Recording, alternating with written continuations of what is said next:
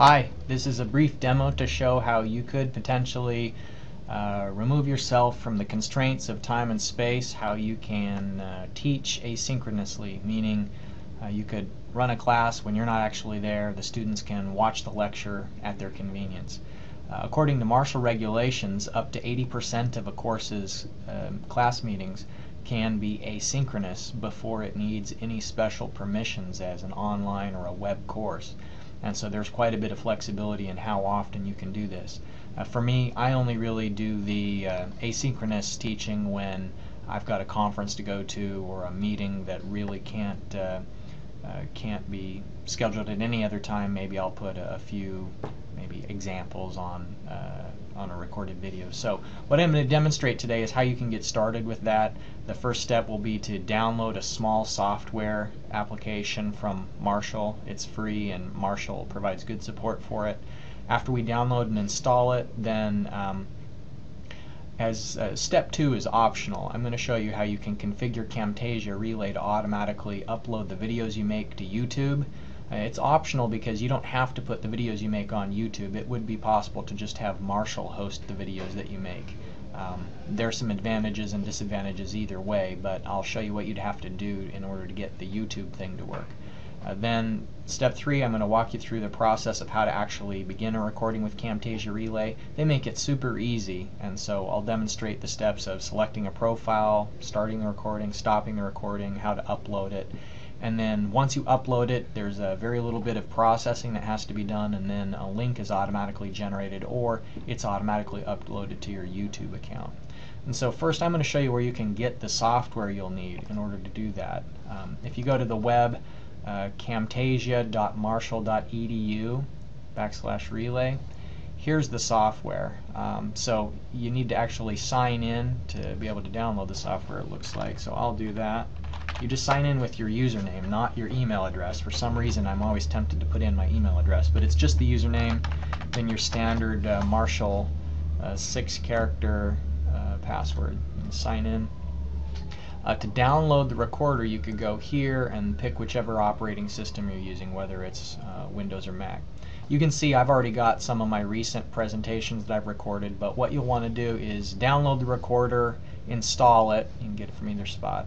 Um, after you install it, uh, I'll show you what happens when you uh, start the software. Um, it automatically connects. You can see here that it's connected to a server, Marshall's Camtasia Relay server, but we're not yet logged in. It would allow you to record something as a guest, but it's much better if you just, once again, log in with your Marshall credentials. So, log in. Um, once you've logged in, uh, let's see, the steps I was going to demonstrate is um, how to configure your, um, your YouTube. Alright, so the reason I bring it up is that when you're about to do recording, you have to select a profile. You have to tell it what format you want the recording to be in and where you want it to be stored. Um, understanding all the ins and outs of the different, uh, you know, codecs and processing really isn't important. Um, the, the two main options that I go with is either I'll record it with Ensemble or I'll send it to a personal YouTube account. Um, so I'll demonstrate uh, basically how to configure it so that it automatically uploads to your YouTube account. What you have to do is go into here to Profiles and uh, My Profiles, Publish Account Setup. If you want it to go to your YouTube account, then you have to, to tell it which account that is. And so, you know, I would type in my personal YouTube account. And if you don't have a YouTube account, it's the same thing as a uh, as a Gmail account. Uh, you know, like a, a, a Google account. Um, with with one small twist, and that is if you want to record videos longer than 15 minutes, then you have to uh, verify the account. And to verify it, all they want to do is uh, send you a text message to make sure that you're YouTube account and your, your Gmail account isn't uh, associated with spam. They basically want to associate it with a, a phone number, so it's relatively straightforward. So um, I would just put in my username and password for YouTube slash Gmail, in my case, wait at marshall.edu, because I have in the past created a uh, um, a, a Google account with my Marshall address and I would type in my password. Now, when you do it the first time, it's working in my case because um, I've gone into my uh, YouTube account and I've said it's okay for this third party to be logging into uh, to YouTube account into my YouTube account. Um, ordinarily, they won't let you know, some random server connect into your YouTube account, and so they'll block it. So if the first time you put in your username and password, it may say something like that the credentials didn't work. In which case, you just go to uh, YouTube, and then it would give you this warning here: warning, somebody signed in to an account from a different location. Was it you? So you'd say, you know, yes, it was me. I recognize that it was you know Marshall's server that was trying to log in. You allow it, and then you go back over here, and then it'll finally accept your login. So as I mentioned at the beginning, this step two of giving your YouTube credentials, that's an optional step. Um, I prefer my videos to be published on YouTube because it's easier for me to manage them. But uh, if, if you don't want to hassle with all that, you can have Marshall host your uh, videos and they'll look great. So um, let's just say now that we've uh, we've logged into Camtasia Relay after having installed it. If before you start the recording, you have to tell it what sort of format you're going to want the recording to be in. And so Ensemble is a good format if it's going to be hosted on Marshall's server. Um, and you can still download a file. You know, Marshall will serve it for streaming to students, but you could download the original source file and uh, ultimately uh, store it locally and then upload it to YouTube without this integrated approach that I'm talking about, or you could upload it other places like Vimeo, or you know, uh, store it on your own hard drive for archival purposes. Um, or you could have it go to your personal YouTube account. So let me demonstrate first of all what you'd do to uh, create an ensemble recording. So demo recording hosted at Marshall. So you say record and it's going to give you like a brief countdown, maybe a three second countdown, and then it's going to be live. Before you begin, you can see whether or not it's receiving audio. And I have a webcam plugged in and it's not showing any video from my webcam, but it is picking up the audio. So if you're going to be talking through a presentation for your students to hear you, you've got to have a, a microphone plugged in, and this jumping around will tell you whether or not your microphone is actually active. Um, the auto button helps it to adjust the volume setting so it's not too loud, not too quiet.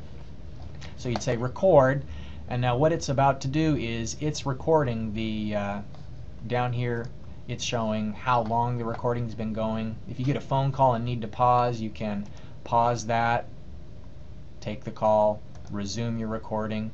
And so it's recording in the background, and as it's recording, you know, you could start a presentation. You know, talking about whatever your course lecture is for that day. And the nice thing is that since it's recording everything that's on screen, you could even start up a spreadsheet if you had some calculations that you needed to do. And the students are going to be able to see exactly what you see on the screen. And you know, you can scroll through, zoom in, and the picture quality is pretty good. Uh, in fact, it's really good. So uh, when you're finished with that recording, you stop it and it finalizes the recording and what you could do is take a look in a preview. You can play it in preview mode before you decide whether or not to submit it to their server. Make sure everything looks fine and you can hear the audio. You can trim parts out if you'd like to do that. Um, but once you click submit it begins communicating with Marshall's server and uploading that file so that it'll automatically generate a link and it'll be hosted for you. So I'll dismiss that message stay okay. And if I go back to my Camtasia account then I'm going to see um, that presentation as it's being uploaded. We'll go here into uh, uploading. Well, it finished uploading. That was quick. So the um, I don't remember what I just called that recording that I just barely made. read. That's an old one that didn't work.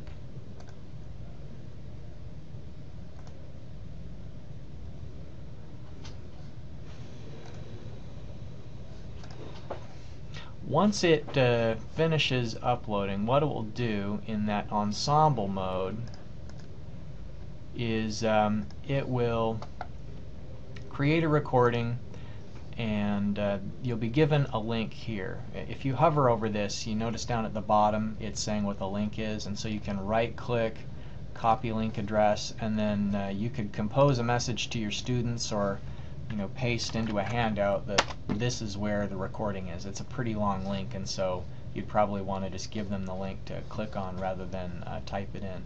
Um, but if I click on that, uh, that will show the video. This is the demonstration. Um, this particular video is in such a resolution that you can't see the video if you're using uh, Chrome, but you can in Firefox. which is which is one of the reasons I prefer YouTube is that I don't have these sorts of problems. Um, we put that in. It's connecting to Marshall's server. This is the demonstration for fluid mechanics with learning. All right, so uh, this is what the student experience would be like. This is for a, a, a recording that I previously did. Um, you can save it locally if you want. You know, right click, save link as, and then it will put that video on my hard drive, and then I could take that video and upload it to YouTube if I wanted.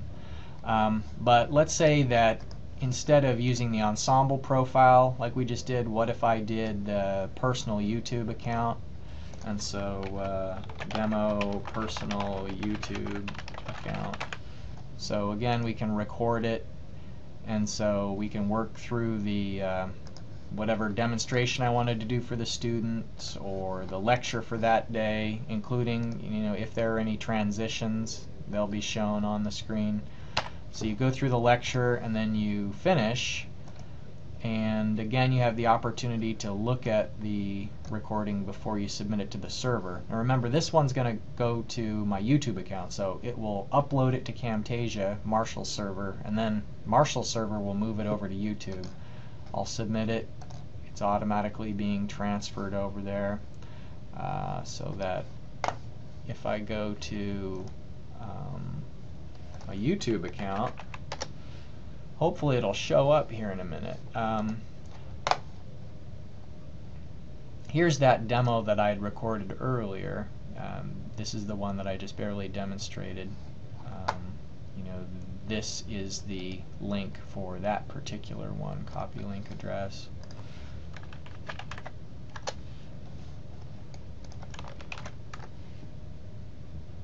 So I paste the link in and it'll automatically start playing the demo that I just did. Recording the uh, down here it's showing how long the recording's been going. If you get a okay, so there's that. And uh, here in just a moment, what it should show is the that's the failed one. I need to delete that, but. Um, the other one we did is uh, the personal YouTube demonstration, and so it will transfer it over and then you'll be able to uh, to see it. Let me pause that and I'll start back up again when it's ready.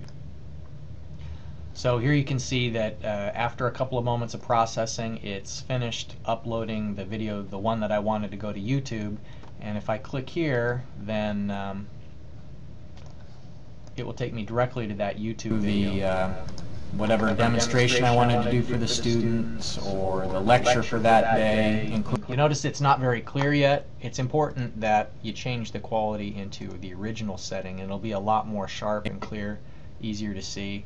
Um, also, if it's playing in full screen, that's a better including you know if there are any transitions they'll be shown on the screen so you go through the lecture and then you finish all right so boy, it probably seems like a lot of uh, technical mumbo jumbo and nonsense, but really think of it as an investment. Once you get this set up and figured out, it's uh, going to give you the ability to, um, you know, have class and present students with the material that you otherwise would have maybe had to skip if you have to go to a conference or a meeting or um, you're sick.